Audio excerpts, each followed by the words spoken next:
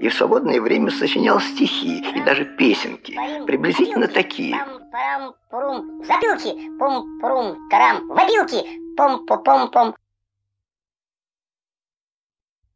Если я чешу в затылке, не беда. В голове моей опилки, да-да-да. Но хотя там и опилки, но кричалки и вопилки А также шумелки, пыхтелки и сопелки Сочиняю я неплохо иногда. Просто денег нет. Хорошо живет на свете того поет он эти песни вслух.